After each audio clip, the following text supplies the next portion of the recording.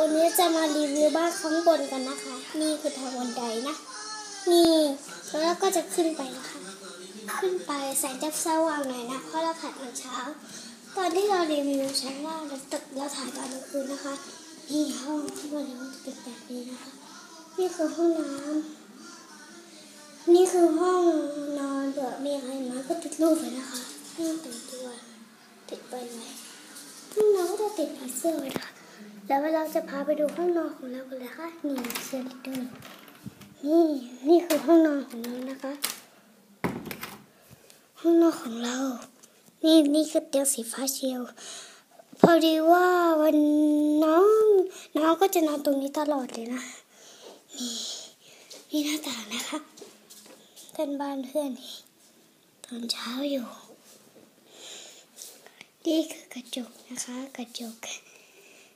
อันนี้เป็นประตูห้องน้ำเนาะแต่เราก็ออกไปแล้วนะในห้องพักออกไปแล้วนะคะ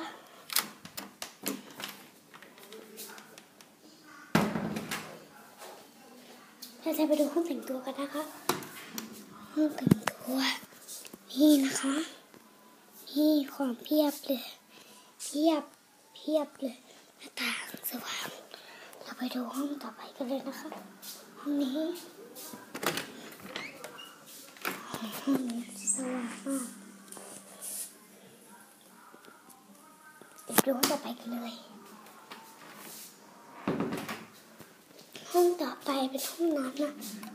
ห้องน้ำ ห้องน้ำ ห้องน้ำนี่ชักโครกห้องน้ำ